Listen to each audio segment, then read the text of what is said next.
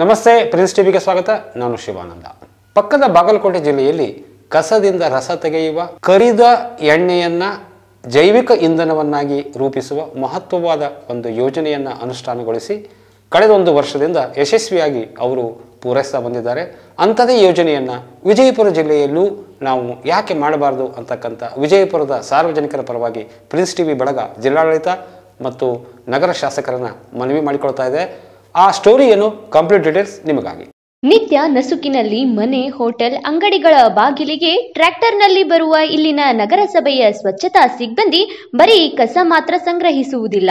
ಜೊತೆಗೆ ಮನೆಯಲ್ಲಿ ನಾವು ಬಳಸಿ ಬಿಸಾಕಲು ಇಟ್ಟ ಖಾದ್ಯ ತೈಲ, ಎಣ್ಣೆ ಅಡುಗೆಯನ್ನು ಕೊಂಡುಕೊಳ್ಳುತ್ತಾರೆ. ಪ್ರತಿ ಲೀಟರ್ಗೆ ಹದಿನೈದು ರೂಪಾಯಿ ಕೊಡುತ್ತಾರೆ. ಹೀಗೆ ನೀಡಿ ಕೊಂಡೊಯ್ದ ಖಾದ್ಯ ತೈಲ ಸಂಜೆ ವೇಳೆಗೆ ಬಯೋಡೀಸೆಲ್ ಆಗಿ ಪರಿವರ್ತನೆಯಾಗಿ ಪ್ರತಿ ಲೀಟರ್ಗೆ ಅರವತ್ತೈದು ರೂಪಾಯಿಯಂತೆ ಮಾರಾಟವಾಗುತ್ತದೆ.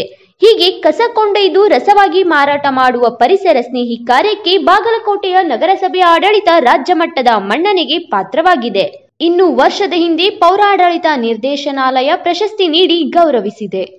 ಈ ಮೊದಲು ಒಮ್ಮೆ ಬಳಕೆಯಾದ ಖಾದ್ಯ ತೈಲ, ಮತ್ತೊಮ್ಮೆ ಮಗದೊಮ್ಮೆ ಬೀದಿ ಬದಿಯ ಹೋಟೆಲ್ ಕೈಗಾಡಿಗಳಲ್ಲಿ ತಿನಿಸು ತಯಾರಿಕೆಗೆ ಬಳಕೆಯಾಗುತ್ತಿತ್ತು. ದೊಡ್ಡ ಹೋಟೆಲ್ ಕಲ್ಯಾಣ ಮಂಟಪಗಳಿಂದ ಕಡಿಮೆ ದರಕ್ಕೆ ಕೊಂಡು ತಂದು ಅವುಗಳನ್ನು ಮರುಬಳಕೆ ಮಾಡಲಾಗುತ್ತಿತ್ತು. ಇಲ್ಲಿ ಕರಿದು ಉಳಿದ ಎಣ್ಣೆಯ ತ್ಯಾಜ್ಯ ಸೋಸಿ ಪಾಕೆಟ್ ಮಾಡಿ ಗುಡಿಗಳಲ್ಲಿ ನಂದಾದೀಪ ಹಚ್ಚಲು ಬರುವವರಿಗೆ ಮಾರಾಟ ಮಾಡುತ್ತಿದ್ದರು. ಈ ಕಳಪೆ ಎಣ್ಣೆ ಬೀದಿ ಬದಿಯ ಸಣ್ಣ ಹೋಟೆಲ್ಗಳಲ್ಲಿ ತಿನ್ನುವ ಬಡವರ ಆರೋಗ್ಯಕ್ಕೂ ಮಾರಕವಾಗುತ್ತಿತ್ತು. ಮೀನು, ಚಿಕನ್ ಕರಿದ ಎಣ್ಣೆಯು ಸೋಸುವಿಕೆ ನಂತರ ದೀಪ ಬೆಳಗಲು ಬಳಕೆಯಾಗುತ್ತಿತ್ತು ಅದನ್ನು ತಪ್ಪಿಸಲು ನಗರಸಭೆ, ಸಾರ್ವಜನಿಕ ಆರೋಗ್ಯ ಮತ್ತು ಪರಿಸರ ಶಾಖೆ ಕಂಡುಕೊಂಡ ಉತ್ತಮ ದಾರಿ ಇದು. ಎರಡು ಸಾವಿರದ ಹನ್ನೆರಡರಲ್ಲೇ ಶುರು ಮಾಡಿದ ಈ ಪ್ರಯತ್ನವನ್ನು ಇಂದಿಗೂ ಮುಂದುವರಿಸಿದ್ದಾರೆ. ಇನ್ನು ಹಸಿರು ಇಂಧನ ತಯಾರಿಕೆಯ ಈ ಸಾರ್ಥಕ ಕಾರ್ಯಕ್ಕೆ ನಗರಸಭೆಯೊಂದಿಗೆ ಇಲ್ಲಿನ ವಿದ್ಯಾಗಿರಿಯ ಬಿವಿವಿ ಸಂಘದ ಬಸವೇಶ್ವರ ಇಂಜಿನಿಯರಿಂಗ್ ಕಾಲೇಜಿನ ಬಯೋಟೆಕ್ನಾಲಜಿ ವಿಭಾಗ ಕೂಡ ಕೈಜೋಡಿಸಿದೆ ಇಲ್ಲಿ ಮೂರು ವರ್ಷಗಳ ಹಿಂದೆ ಖಾದ್ಯ ತೈಲ ತ್ಯಾಜ್ಯ ಸಂಸ್ಕರಣಾ ಘಟಕ ಸ್ಥಾಪಿಸಲಾಗಿದ್ದು, ತಾಂತ್ರಿಕ ಉಪಕರಣಗಳ ಅಳವಡಿಕೆಗೆ ಐದು ಲಕ್ಷ ರೂಪಾಯಿ ಖರ್ಚು ಮಾಡಿದ್ದಾರೆ.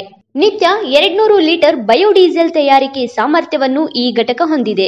ಆದರೆ ಬೇಡಿಕೆಯಷ್ಟು ಬಳಕೆಯಾದ ಎಣ್ಣೆ ಸಿಗದ ಕಾರಣ ಈಗ ಪ್ರತಿನಿತ್ಯ ಒಂದು ನೂರ ಇಪ್ಪತ್ತರಿಂದ ಒಂದು ನೂರ ಐವತ್ತು ಲೀಟರ್ ಬಯೋಡೀಸೆಲ್ ಉತ್ಪಾದಿಸಿ ಮಾರಾಟ ಮಾಡಲಾಗುತ್ತಿದೆ. ಬವಿವಿ ಸಂಘದ ಕಾಲೇಜಿನ ಬಯೋಟೆಕ್ನಾಲಜಿ ವಿಭಾಗದ ಡಾಕ್ಟರ್ ಭಾರತಿ ಮೇಟಿ ಅವರ ಮೇಲ್ವಿಚಾರಣೆಯಲ್ಲಿ ಈ ಘಟಕ ನಡೆಯುತ್ತಿದೆ. ಹಸಿರು ಇಂಧನ ಮಾರಾಟದಿಂದ ಸಂಗ್ರಹವಾಗುವ ಲಾಭಾಂಶವನ್ನು ಘಟಕದ ನಿರ್ವಹಣೆಗೆ ಬಳಸುತ್ತಿದ್ದಾರೆ. ಖಾದ್ಯ ತೈಲದ ತ್ಯಾಜ್ಯದಿಂದ ಉತ್ಪಾದಿಸಿದ ಬಯೋಡೀಸೆಲ್ ಬಳಸುವಂತೆ ಸಾರ್ವಜನಿಕರನ್ನು ಉತ್ತೇಜಿಸಲು ಹಿಂದಿನ ಜಿಲ್ಲಾಧಿಕಾರಿ ಆರ್ ರಾಮಚಂದ್ರನ್ ಸ್ವತಃ ತಾವೇ ತಮ್ಮ ಕಾರಿಗೆ ಬಳಕೆ ಮಾಡಲು ಆರಂಭಿಸಿದ್ದರು. ನಗರಸಭೆಯ ಕಸ ಸಾಗಿಸುವ ವಾಹನಕ್ಕೂ ಪ್ರಾಯೋಗಿಕ ಬಳಕೆ ನಡೆದಿದೆ. ಸದ್ಯ ಕೆಲವು ಆಟೋ ಹಾಗೂ ಟಂಟಂ ಚಾಲಕರು ಹಸಿರು ಇಂಧನದ ಕಾಯಂ ಗ್ರಾಹಕರಾಗಿದ್ದಾರೆ. ಬಾಗಲಕೋಟೆಯ ಈ ಮಾದರಿಯನ್ನು ಇಡೀ ರಾಜ್ಯಕ್ಕೆ ವಿಸ್ತರಿಸುವಂತೆ ರಾಜ್ಯ ಜೈವಿಕ ಇಂಧನ ಅಭಿವೃದ್ಧಿ ಮಂಡಳಿ ರಾಜ್ಯ ಸರ್ಕಾರಕ್ಕೆ ಪತ್ರ ಬರೆದಿದೆ.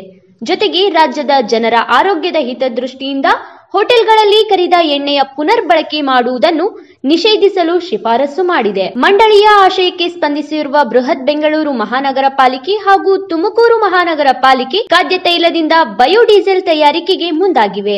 ಎರಡು ಸಂಸ್ಥೆಗಳ ಅಧಿಕಾರಿಗಳು ಇಲ್ಲಿಗೆ ಬಂದು ವೀಕ್ಷಣೆ ಮಾಡಿ ಈ ಕುರಿತಾಗಿ ಮಾಹಿತಿಯನ್ನು ಸಹ ಪಡೆದುಕೊಂಡಿದ್ದಾರೆ. ಅಷ್ಟೇ ಅಲ್ಲದೆ, ನಗರದ ಘನತ್ಯಾಜ್ಯ ವಿಲೇವಾರಿ ಘಟಕದಲ್ಲಿ ಹಸಿ ಕಸದಿಂದ ಬಯೋ ಮೆಥಾಯೇಷನ್ ಪ್ಲಾಂಟ್ನಿಂದ ಮಿಥೇನ್ ಗ್ಯಾಸ್ ತಯಾರಿಸಲಾಗುತ್ತಿದೆ. ಇದರಿಂದ ನಗರಸಭೆ ಭರಿಸುತ್ತಿದ್ದ ನಲವತ್ತೈದು ಸಾವಿರ ವಿದ್ಯುತ್ ಬಿಲ್ ಉಳಿತಾಯವಾಗುತ್ತಿದೆ. ಇನ್ನು ಈ ಯೋಜನೆಗೆ ಒಟ್ಟು ನಲವತ್ತೊಂಬತ್ತು ಲಕ್ಷ ರೂಪಾಯಿ ಖರ್ಚಾಗಿದ್ದು, ಎರಡು ಟನ್ ಹಸಿ ತ್ಯಾಜ್ಯ ಕರಗಿಸಿ ಐವತ್ತು ಮೆಟ್ರಿಕ್ ಕ್ಯೂಲ್ ಗ್ಯಾಸ್ ಉತ್ಪಾದನೆ ಮಾಡುತ್ತಿರುವುದು ಶ್ಲಾಘನೀಯ. ಹೀಗೆ ತಯಾರಾದ ವಿದ್ಯುತ್ ದಿನವೊಂದಕ್ಕೆ ಎರಡ್ನೂರ ಐವತ್ತು ಕಿ ಲೀಟರ್ ವ್ಯಾಟ್ನ ಹತ್ತು ಎಲ್ಇಡಿ ಬಲ್ಬ್ಗಳನ್ನು ಹಾಗೂ ಹದಿನೈದು ಕೆವಿ ಜನರೇಟರ್ ಕಾರ್ಯನಿರ್ವಹಿಸುವಂತೆ ಮಾಡಲಾಗುತ್ತಿದೆ. ಇಷ್ಟಕ್ಕೆ ಈ ಜಿಲ್ಲೆ ಸಾಕು ಎಂದು ಕೈಕಟ್ಟಿ ಕುಳಿತಿಲ್ಲ ಇನ್ನು ಒಂದು ಹೆಜ್ಜೆ ಮುಂದೆ ಇಟ್ಟು ಇದೇ ಫ್ಲ್ಯಾಂಟ್ ಸಮೀಪವಿರುವ ಕುಷ್ಠರೋಗಿಗಳ ಕಾಲನಿಯಲ್ಲಿ ಇರುವ ಸುಮಾರು ಐವತ್ತು ಕುಟುಂಬಗಳಿಗೆ ಈ ಘಟಕದ ಮೂಲಕ ಅಡುಗೆ ಅನಿಲವನ್ನು ಸಹ ಪೂರೈಸುವ ಯೋಜನೆಯನ್ನು ಹಾಕಿಕೊಂಡಿದೆ. ನಮ್ಮ ಪಕ್ಕದ ಜಿಲ್ಲೆಯಲ್ಲೇ ಕಸದಿಂದ ರಸವನ್ನು ತಯಾರಿಸುವಾಗ ನಮ್ಮ ವಿಜಯಪುರದ ಮಹಾನಗರ ಪಾಲಿಕೆ ಜಿಲ್ಲಾಧಿಕಾರಿಗಳು, ಜಿಲ್ಲಾಡಳಿತ, ಶಾಸಕರು ಸಹ ಇಂತಹ ಘಟಕಗಳ ಸ್ಥಾಪನೆಗೆ ಆದ್ಯತೆ ನೀಡಬೇಕಾಗಿದೆ. ಕಸವನ್ನು ಅಲ್ಲಿ ಇಲ್ಲಿ ವಿಲೇವಾರಿ ಮಾಡುವ ಬದಲಾಗಿ ನಮ್ಮಲ್ಲಿಯೇ ಒಂದು ಕಸದಿಂದ ರಸ ಉತ್ಪಾದಿಸುವ ಇಂತಹ ಯೋಜನೆಗಳು ಹುಟ್ಟಿದಲ್ಲಿ ಉದ್ಯೋಗವು ಸೃಷ್ಟಿಯಾಗುತ್ತದೆ. ಒಂದು ಉದ್ಯಮವನ್ನು ಸ್ಥಾಪಿಸಿದಂತಾಗುತ್ತದೆ. ಇದಕ್ಕೆ ಹಲವಾರು ವಿದ್ಯಾಲಯ ಹಾಗೂ ಸಂಘ ಸಂಸ್ಥೆಗಳೊಂದಿಗೆ ಕೈ ಜೋಡಿಸಿ ಇಂತಹ ಘಟಕಗಳನ್ನು ಯಾಕೆ ತೆರೆಯಬಾರದು? ಶೀಘ್ರವೇ ಜಿಲ್ಲಾಡಳಿತ ಈ ಕುರಿತಾಗಿ ಯೋಜನೆಗಳನ್ನು ರೂಪಿಸುವುದಷ್ಟೇ ಅಲ್ಲ, ಸಕಾಲದಲ್ಲಿ ಅವುಗಳನ್ನು ಸಾಕಾರ ಮಾಡಲಿ ಎಂಬುದೇ ಪ್ರಿನ್ಸ್ ಟಿವಿಯ ಆಗ್ರಹ. ಹೆಚ್ಚಿನ ಮಾಹಿತಿಗಾಗಿ ಸಬ್ಸ್ಕ್ರೈಬ್ ಮಾಡಿ ಪ್ರಿನ್ಸ್ ಟಿವಿ ಕನ್ನಡ. ನೋಟಿಫಿಕೇಶನ್ಗಾಗಿ ತಪ್ಪದೆ ಬೆಲ್ ಐಕಾನ್ ಅನ್ನು ಕ್ಲಿಕ್ ಮಾಡಿ. ಲೈಕ್ ಮಾಡಿ ಶೇರ್ ಮಾಡಿ.